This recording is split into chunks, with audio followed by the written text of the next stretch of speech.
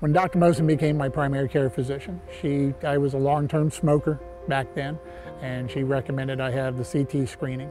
So basically every year now I've had a CT lung screening.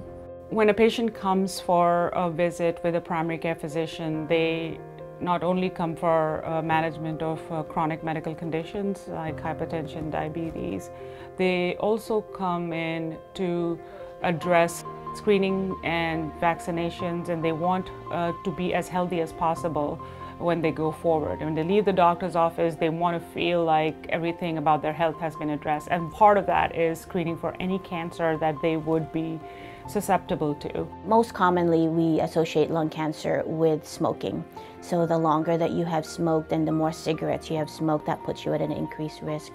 Also being male, um, and also being exposed to um, substances such as radon or asbestos um, are also high risk factors. Low dose CT is a type of CAT scan of the chest. It does have lower radiation than a regular CAT scan that we obtain. And what it does is it looks for um, pulmonary nodules or spots in the lungs that may clue us in on a patient potentially having lung cancer. Getting a low dose CT, it's uh, basically about 15 minutes out of your day.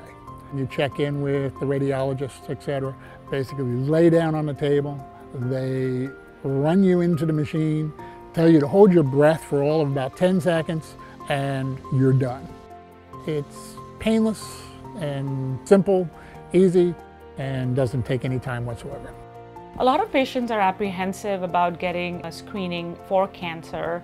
Just because you're getting screened for any types of cancer doesn't mean that you are going to have cancer. This is for prevention of cancer or early detection of cancer so we can have a better outcome of um, whatever you're dealing with. If we catch it early, we can treat it early and you will have a better, longer uh, quality of life and quantity of life. So anybody that's age 50 to 80 years old or if they have smoked for more than 20 years and as well as if they have quit within the past 15 years, they meet criteria.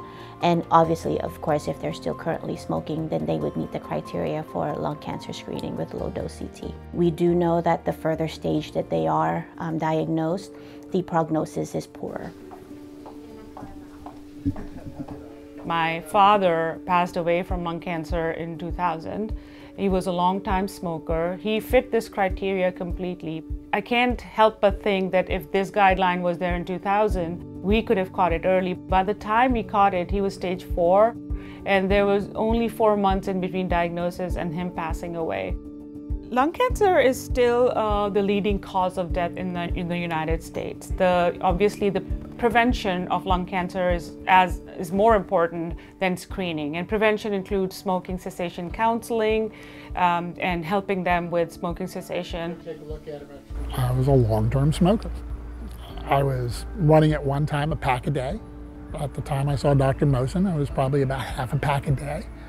And I had been smoking since I started my time in the military. It's from 1975 to three years ago. So yes, I was, it was one of those, it was a risk factor, big risk factor, and this was one way to eliminate that factor.